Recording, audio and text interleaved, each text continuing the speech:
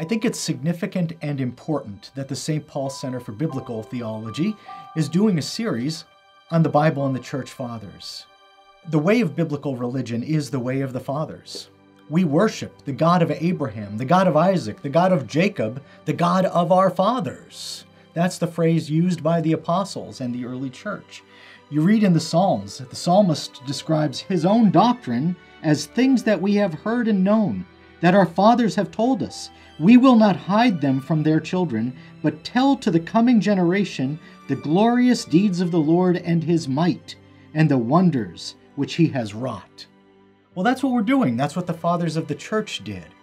They took the proclamation of the gospel and they brought it to the next generation and the next generation and the next generation until it's come to us.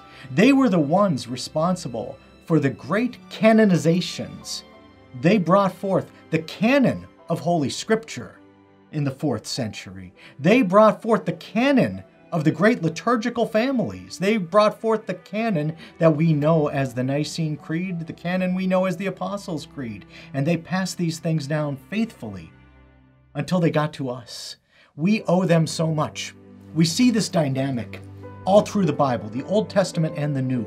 The teaching of the fathers is passed to the children and the children are commanded to honor their fathers and their mothers.